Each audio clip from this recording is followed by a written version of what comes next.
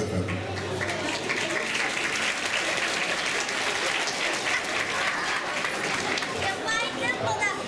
Hanımefendi adınız soyadınız. Beyefendi adınız soyadınız. Sayın şahitler adınız soyadınız. Mehmet Kısa. Metin Feyzoğlu.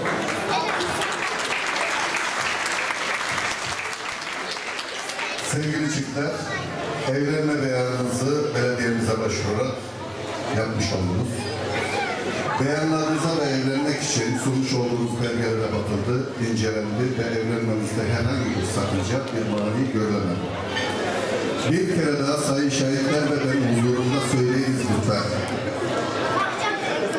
Sayın Makbule Mustafa, hiç kimsenin baskısı altında kalmaksızın tamamıyla kendi özgür iradenizle ve kendi arzunuzla Ulus Özel ile evlenmek istiyor musunuz?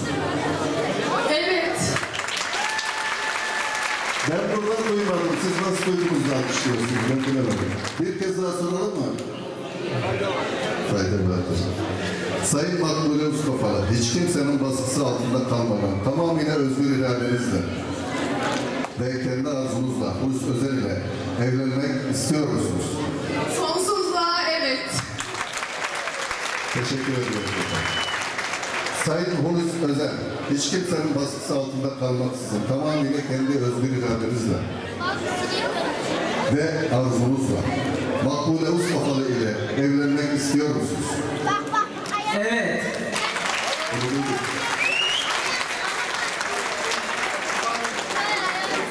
Sayın şehitler, Sayın Makbule Mustafa ile Hulusi Özel'in evlenme beyanlarını duydunuz.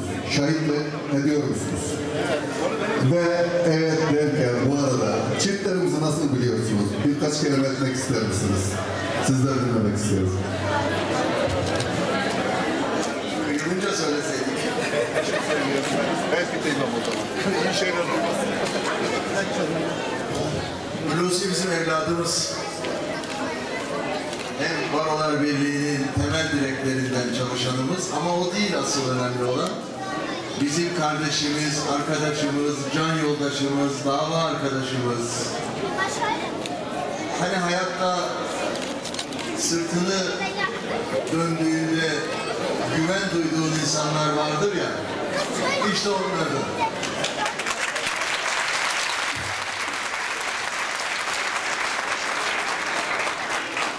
Şimdi bu kadar Hulusi'yi methettikten sonra aslında az bile bizi sanıyorsunuz ki erkek tarafıyız. Biz kız aldık mı evlat kız tarafı oluruz.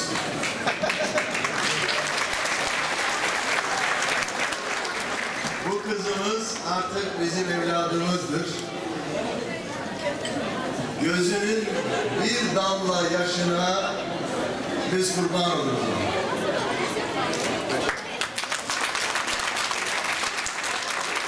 Ve hayatı bana öğrettiğini izin verirseniz Sayın Başkanım bu iki genç kardeşime, kardeşimize iki cümleyle ifade edebilir miyim?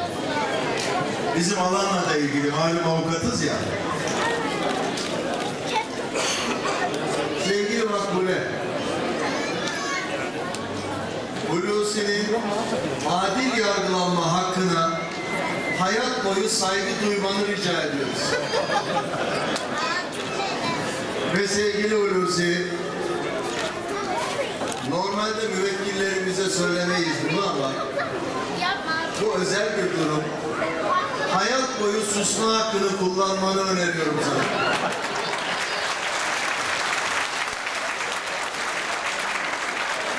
Nasılsa sonunda evet hayatım diyeceksin. Diren evladım.